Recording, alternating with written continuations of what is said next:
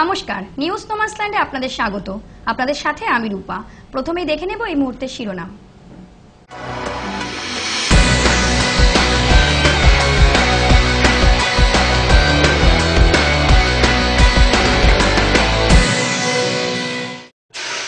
কৃষি জমির খাজনা মুকুবে মাস্টার স্ট্রোক। গোপালনগরে পথ নিরাপত্তা সপ্তাহ পালন। ট্রাক্টরে ফলায় বিদ্ধ হয়ে মৃত কৃষক। পুলিশে চাকরি পাইয়ে দেওয়ার নামে টাকা নিয়ে ধৃত মহিলা। নির্মীয়মান বহুতলে আগুন, বারাসতে। এখন আসছি বিস্তারিত সংবাদে।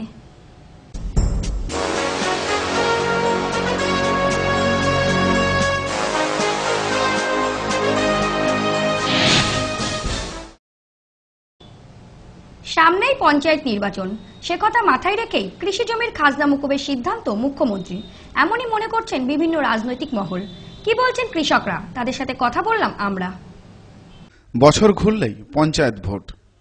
সেই প্রেক্ষিতে সোমবার খড়গপুরের সভা থেকে কৃষি জমির খাজনা মকুব করে মাস্টার স্ট্রোক দিলেন রাজ্যের মুখ্যমন্ত্রী মমতা বন্দ্যোপাধ্যায়। সিদ্ধান্তের ঘোষণার সাথে সাথে খোঁচা দিতে ছাড়লেন না কেন্দ্রকেও কেন্দ্রের ভুয়ো প্রতিশ্রুতি নিয়ে ক্ষমতায় আসাকে ব্যঙ্গ করে প্রকাশ্য সমাবেশ থেকে সোমবার তিনি ঘোষণা করলেন, রাজ্য সরকারের দুশো কোটি টাকা লোকসান হলেও কৃষকদের চাষযোগ্য জমির খাজনা আজ থেকে আর দিতে হবে না। পাশাপাশি কৃষকদের জন্য নেওয়া হচ্ছে একাধিক প্রকল্প। ওয়াকিবহল মহলের বক্তব্য, ভূমি সংস্কারের ওপর ভরসা করেই একটানা পঁয়ত্রিশ বছর ধরে পঞ্চায়েতগুলোকে দখলে রেখেছিল বামফ্রন্ট।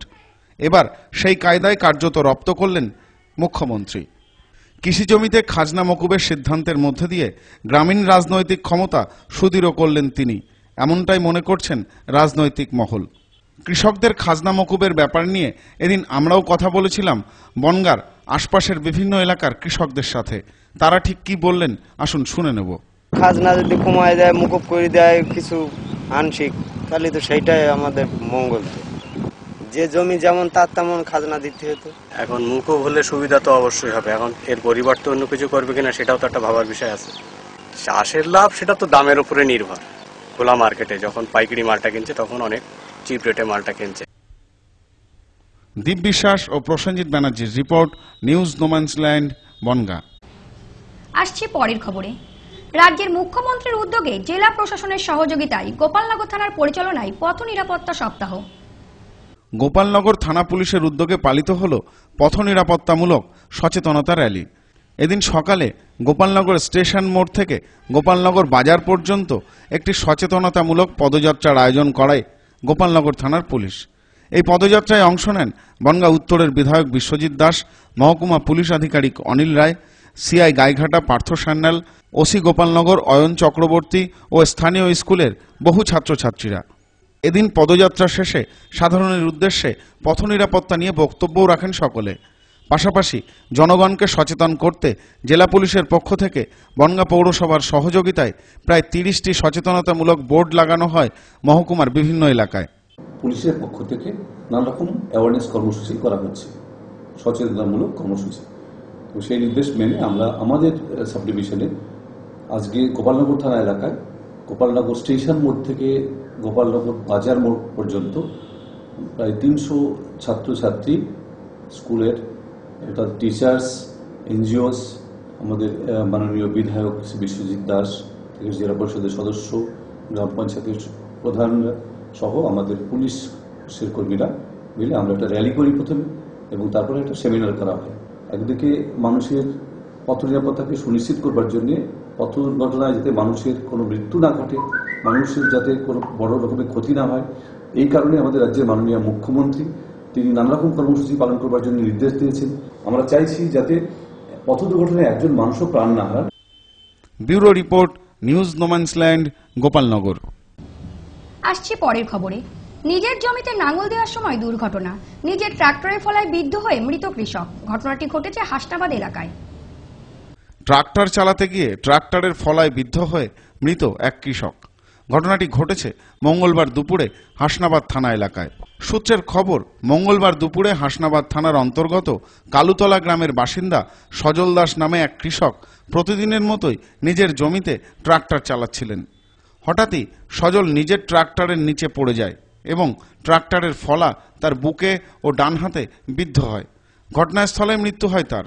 স্থানীয় সূত্রে খবর, সজল প্রত্যেক দিনের মতোই আজও নিজের জমিতে ট্রাক্টরে করে লাঙল দিচ্ছিলেন। কিন্তু আচমকা সে ট্রাক্টরের নিচে পড়ে যায়। কিন্তু কীভাবে তা হলো, তা পরিষ্কার নয়। ঘটনার খবর পেয়ে ঘটনাস্থলে আসে হাসনাবাদ থানার পুলিশ। হাসনাবাদ থানার পক্ষ থেকে মৃতদেহ উদ্ধার করে ময়না তদন্তে পাঠানো হয়েছে। Bureau report, news no man's land, Hasnabad. পুলিশে চাকরি পাইয়ে দেওয়ার নাম করে আর্থিক প্রতারণা। বাদুরিয়া থেকে গ্রেপ্তার বীরভূমের মহিলা। পুলিশে চাকরি পাইয়ে দেবার নাম করে টাকা তোলার অভিযোগে আটক এক মহিলা।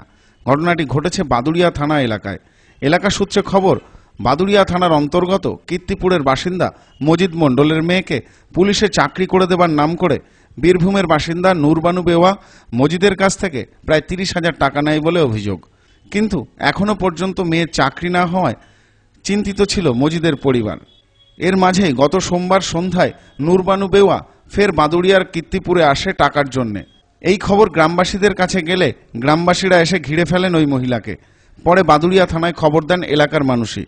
ঘটনাস্থল থেকে পুলিশ আটক করে ওই মহিলাকে। ধৃতকে এদিন তোলা হয় বসিরহাট আদালতে। পরমা বন্দ্যোপাধ্যায়ের রিপোর্ট, নিউজ নোম্যান্সল্যান্ড, বাদুড়িয়া। আসছি পরের খবরে। মঙ্গলবার বিকালে বারাসতের একটি নির্মীয়মান বহুতলে আগুন লেগে যায়। দমকলের দুটি ইঞ্জিনের চেষ্টায় আগুন নিয়ন্ত্রণে। মঙ্গলবার বিকালে বারাসতের শেঠপুকুর এলাকায় একটি নির্মীয়মান বহুতলে আগুন লাগার ঘটনায় চাঞ্চল্য ছড়ালো গোটা এলাকায়। স্থানীয় সূত্রে খবর, বারাসত শেঠপুকুর এলাকায় একটি বহুতল নির্মাণের কাজ চলছিল। হঠাৎই স্থানীয় বাসিন্দারা দেখেন বহুতলটিতে দাউ দাউ করে আগুন জ্বলছে। স্থানীয় বাসিন্দারা তৎক্ষণাৎ খবর দেন বারাসাত থানা ও দমকলে। খবর পাওয়া মাত্রই ঘটনাস্থলে আসে বারাসত থানার পুলিশ ও দমকল বাহিনী। দমকলের দুটি ইঞ্জিনের চেষ্টায় পরে আগুন নিয়ন্ত্রণে আসে। তবে বহুতলটিতে ঠিক কী কারণে আগুন লাগল তা নিয়ে ধোঁয়াশা তৈরি হয়েছে। আচ্ছা এই উপরে একটা ভাড়া বেঁধেছিল ওরা ঢালাইয়ের জন্য। আর কি বহুতল? হ্যাঁ বহুতলের একটা ইয়ে চারতলা পরে এবার সেখানেই আর কি কোনো আগুন লেগে কীভাবে আগুন লাগে বলতে পারব না? আমরা এসে সঙ্গে সঙ্গে কীভাবে আগুন লেগেছে জানা সেটা আমরা বলতে পারছি না। শর্ট সার্কিট বা অন্য কোনো সেটা সেটা বলা যাচ্ছে না। আমরা জানি না।